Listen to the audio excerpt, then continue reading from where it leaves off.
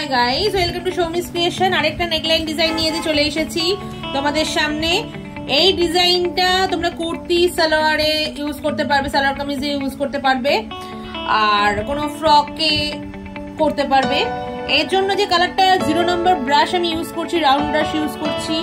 আর এখানে metallic colour use করছি pearl metallic colour ফেব্রিক্যাল কোম্পানির এটার কোড আছে, এটা গোল্ডেন আছে।